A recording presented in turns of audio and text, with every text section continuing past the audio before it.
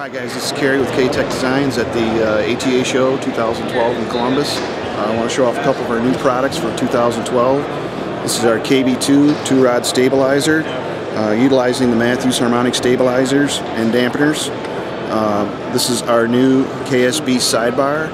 It is a uh, rear stabilizer, dead stop, with an integrated sidebar feature.